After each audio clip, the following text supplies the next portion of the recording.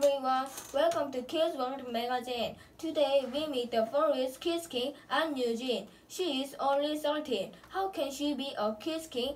Hi Eugene, how do you know so many things? I like reading. I read about two books a day. I learn many things from the books. Do you remember everything about the books? Well, I do. I can remember things easily. I remember things by their images.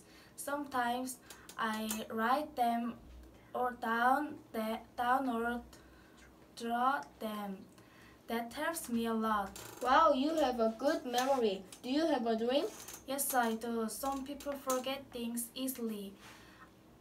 They can have a good memory like me. I can I can be a memory doctor. I can study and write books for them. Thank you.